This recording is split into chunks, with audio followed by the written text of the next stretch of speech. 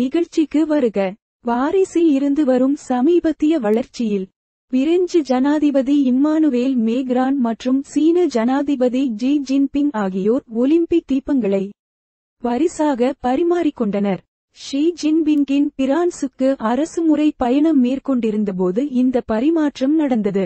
செவ்வாயன்று எலிசி அரண்மனையில் பிரகாசமாக ஒளிரும் போர்ட்ரேட் அறையில் வெள்ளை பளிங்கு மேசையில் மூன்று ஒலிம்பிக் தீபங்கள் காட்சிக்கு வைக்கப்பட்டன. மேக்ரோன் பதிலுக்கு இக்கு வரவிருக்கும் பாரிஸ் ஒலிம்பிக் போட்டிகளின் ஒலிம்பிக் தீபத்தை பரிசாக வழங்கினார். ஒலிம்பிக் தீபங்களை பரிமாறிக்கொள்வது நல்லெண்ணம் மற்றும் நட்பின் அடையாளச் சைகையாகும் மற்றும் இரு நாடுகளுக்கும் இடையிலான உறவுகளை வலுப்படுத்தும் என்று எதிர்பார்க்கப்படுகிறது.